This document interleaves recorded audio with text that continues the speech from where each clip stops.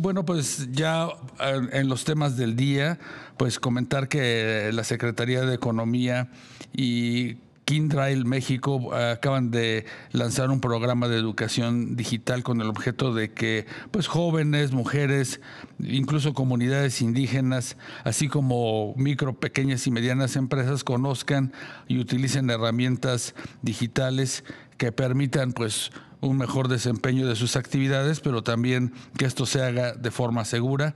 Para platicar de este tema nos acompaña y le damos las gracias. Está con nosotros Carlos Marcel, él es CEO de Kindrail.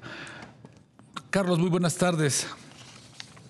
Buenas tardes, Rogelio, ¿cómo estás?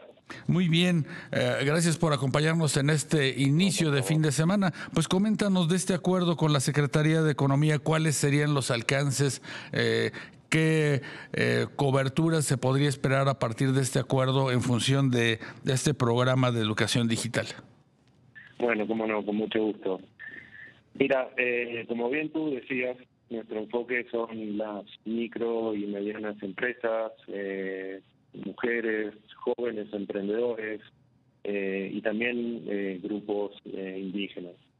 Eh, nosotros estamos súper encantados de haber firmado este, este, este documento de emprendimiento. Eh, vamos a estar enfocados, diría, en tres grandes iniciativas digitales que son todos los eh, asesoramientos relativos a tecnologías de nube, eh, ciberseguridad, seguridad y data. Data como el combustible para todas las iniciativas que vienen después de inteligencia artificial. Eh, Sí. ¿Cómo, cómo, cómo nació este, este, esta, este proceso? no Nosotros el año pasado tuvimos una reunión con, con la Secretaría eh, y después eh, analizamos distintos informes eh, de, de, cómo estaba la situación de adopción de tecnología y, y de iniciativas de transformación digital en estos tipos eh, de, grupos.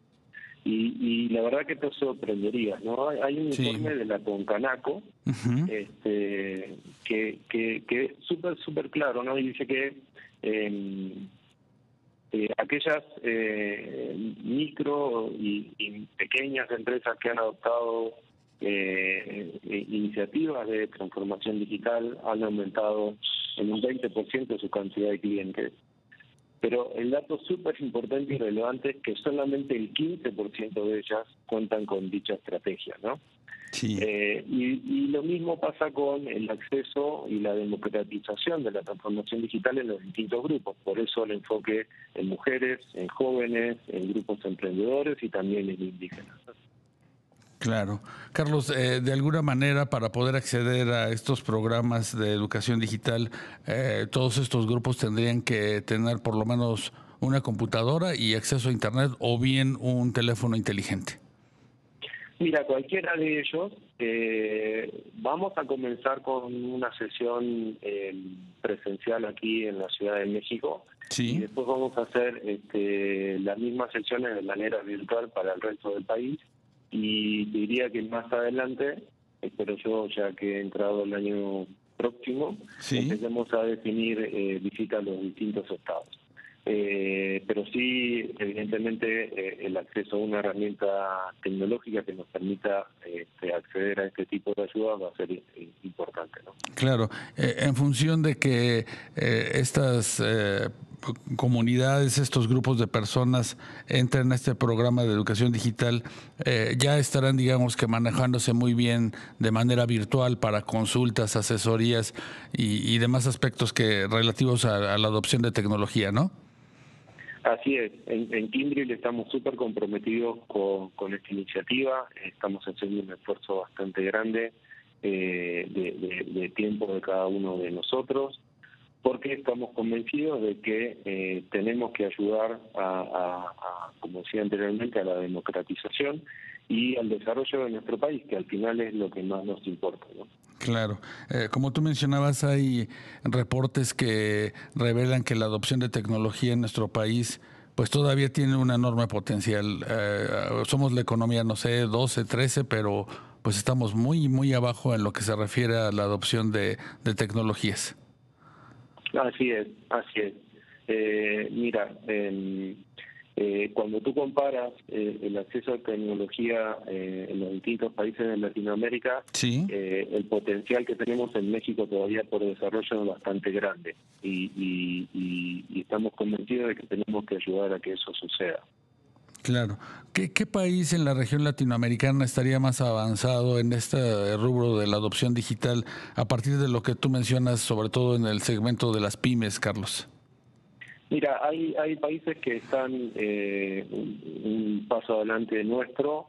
Eh, te podría decir, eh, Chile es uno. y el resto más o menos están bastante similares. El, tema que tenemos nosotros en México, y también por datos de la INEGI, eh, el 52% del PDI viene por, por, por pymes. eh, y, y esta, este, este tipo de empresas tienen el 70% de los empleos formales. Entonces, sí son el motor de la economía y si pudiéramos eh, ayudarlas en esta adopción y, y sobre todo, y además, eh, incluir a los distintos grupos, eh, tendríamos una transformación del país que, que, no imaginamos en este minuto. Claro. Carlos, ¿y ustedes qué recomendarían como detonador para que pues estos grupos puedan avanzar de forma más rápida la adopción tecnológica? Mira, en lo que respecta a este a esta iniciativa, a este proyecto eh, conjunto, es eh, nosotros vamos a, informar las formas de, inscripción y, la forma de participación. Entonces, lo que yo eh, te diría es eh, que participen, que se animen a participar, que rompamos el miedo a, la tecnología. Eh, y, después iremos haciendo las adecuaciones que sean necesarias a medida que vayamos tomando las distintas este, informaciones y las distintas retroalimentaciones eh, de la sesión. Claro. Eh, ¿Consideras, Carlos, que sería necesario eh, dar estímulos, apoyos para que estos pequeños negocios, las comunidades indígenas, las mujeres, como lo mencionas en el programa, eh, tuvieran algún apoyo para la compra de computadoras o bien tarifas más, digamos que asequibles para los servicios de Internet? Mira, eh, siempre, siempre es importante la participación de, todos y, y, nosotros, eh, digamos, vamos a, darle las herramientas para que para que todos los que participen puedan tomar sus decisiones y ahí eh, ir viendo cuál es la mejor forma de acceder a la tecnología. Claro. Finalmente, Carlos, eh, coméntanos de manera muy general, Kindrill, ¿qué hace? ¿Cómo se define? ¿Es un integrador? ¿Es un desarrollador de aplicaciones? ¿Cómo entenderlo en este ecosistema tecnológico? Bueno, eh, gracias por la pregunta. Mira, Kindrill es el eh, proveedor de servicios de tecnología de información más grande del mundo. Estamos presentes en más de 60 países. Tenemos una muy larga historia en México. Eh, Damos servicios eh, no solamente de gestión de sistemas, eh, sino también de consultoría. nos enfocamos en servicios de nube, en servicios de data e inteligencia artificial, en servicios de ciberseguridad y seguridad, resiliencia, eh, en servicios de mejorar la experiencia de los de los colaboradores de las compañías y estamos presentes en, en México fuertemente, diría, en casi todas las industrias y, y eso somos. Claro. Muy bien, pues Carlos Marcel, CEO de Kindrill, eh, firma especializada en servicios de infraestructura de TI. Eh, gracias por acompañarnos esta tarde, un programa sin duda pues relevante, el hecho de poder eh, cerrar la brecha digital con estos grupos como las pequeñas y medianas empresas en nuestro país. Que tengas muy buen fin de semana. Muy buenas tardes, Rogelio. Gracias por, por invitarme a participar.